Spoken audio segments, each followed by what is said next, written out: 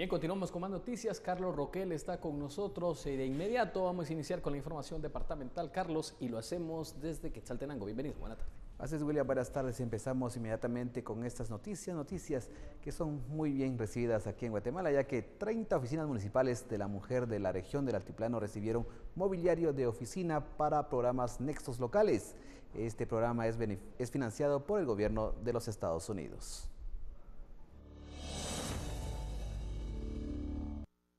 Con la finalidad de fortalecer el poder local de las municipalidades de San Marcos, Huehuetenango, Quicheto, Tonicapán y Quetzaltenango, recibieron equipo para equipar las oficinas de la mujer. El objetivo es fortalecer la gobernabilidad local y darle una mejor atención a las mujeres de dichos departamentos. Cada oficina municipal de la mujer recibió un archivero, una cañonera, una computadora y otros objetos que serán de beneficio para apoyar esta unidad municipal. En total fueron donados 14 millones de quetzales, los cuales se tendrán que ejecutar en cinco años en programas de fortalecimiento, transparencia municipal, seguridad alimentaria, entre otros temas. En otros temas, Solola ofrece la opción a los turistas a visitar la Reserva Natural Atitlán, un lugar que ofrece el encuentro con la flora y la fauna del lugar.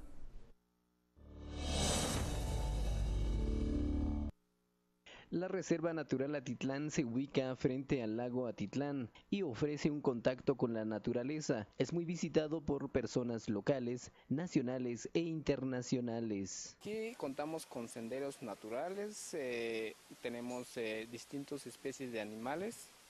Eh, lo que es atractivo acá en la reserva es los cables extremos, ya que tenemos una, un tour de ocho, ocho vuelos también tenemos el otro tour que son los más largos a nivel centroamericano, que cuenta con siete plataformas.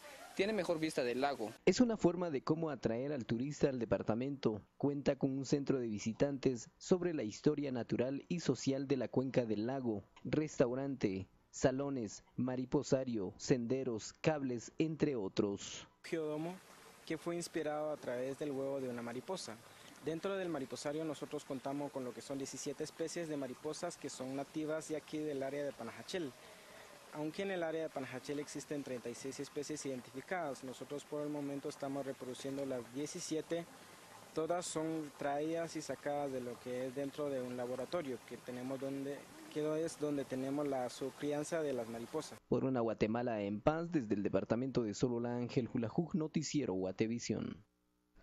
Varios alcaldes de Petén se encontraron con deudas millonarias en las municipalidades, lo que podría obstaculizar los trabajos vecinales.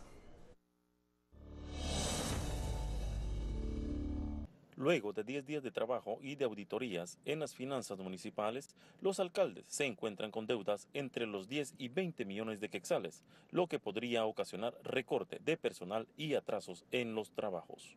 Es una situación bien difícil eh, se deben muchos proyectos, están los proyectos eh, comenzados, pero no están, no están pagados. También se le, se le debe mucho, pero mucho al personal. Una deuda bastante millonarias. Lamentablemente, pues todavía sí, en algunas situaciones que aún desconocemos. Eh, hemos visto con mucha preocupación cómo cada día la municipalidad adquirió compromisos con, con, la administración municipal anterior. Por otro lado, algunos alcaldes en la entrega del mando hicieron mención de haber dejado las arcas municipales para arrancar de lleno con la gestión, lo que fue totalmente falso. Cuando mencionaron de que había en las arcas municipales eh, un fondo de 1.303.000, pero la realidad es que no especificaron eh, eh, los cheques que todavía andaban por ahí para cobrarlos. Había un, recorte de un aguinaldo de, dos, de, de 238 mil y más pagos de dietas del Consejo de 44 mil. Una retención de deuda del IX de 845 mil. Los funcionarios pidieron a la población tiempo para recuperar las finanzas e iniciar con los trabajos prometidos en campaña.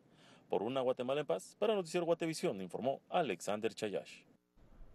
Los padres de familia de la Escuela Naciones Unidas de San Marcos contribuyen con fondos para la construcción de un muro de seguridad para 399 estudiantes, porque la constructora asignada no contempló este y otros aspectos de la edificación.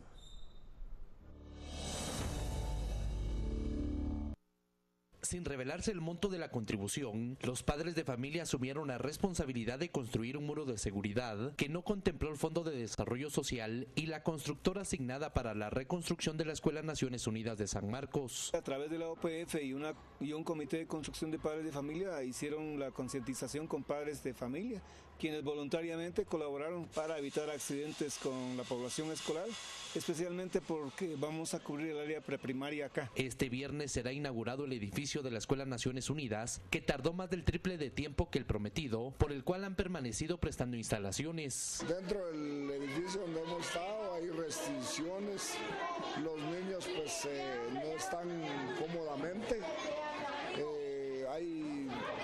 aulas en peligro. El financiamiento para la obra es una donación de Mina Marlin y asciende a 3.171.000 quetzales y cuenta con 12 aulas, área administrativa y servicios básicos que servirá para 399 estudiantes. Se destruyó y quedaron muchas grietas y nos tuvieron que prestar este, este establecimiento. El 29 la dan. ¿Cómo te sientes por eso? Eh, feliz. Sin embargo, el proyecto no contempló la construcción de cuatro aulas más, así como la reconstrucción del muro perimetral de la Escuela Naciones Unidas de San Marcos. Por una Guatemala en paz, Whitmer Barrera. La apertura de un basurero municipal provoca molestias entre algunos vecinos de una comunidad de Chichicastenango, Quiché.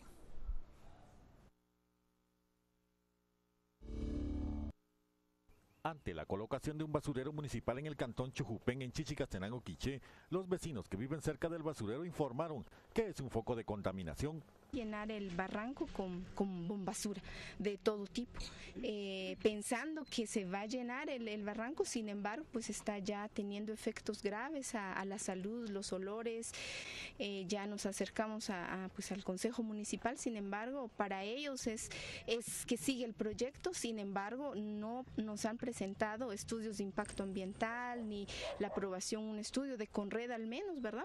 El alcalde manifestó que el COCODE de la comunidad le autorizó a la municipalidad la colocación de este basurero, que busca rellenarlo y está colocándole tierra y cal sobre la basura y realizarán un proyecto cuando se rellene.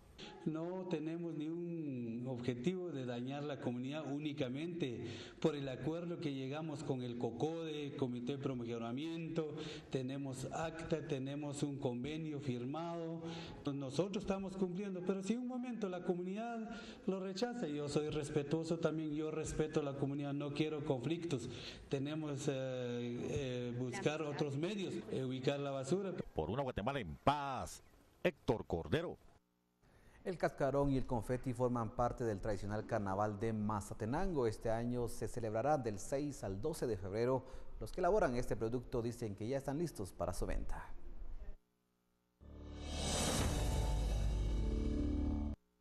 Me encuentro ubicado en Cantón La Cruz de la zona 1 de Mazatenango, donde la tradicional venta de cascarones y confeti forma parte de la Feria del Carnaval 2016. 30 años lleva doña Alba Hidalgo de dedicarse a la elaboración de cascarones y confeti en la ciudad de Mazatenango.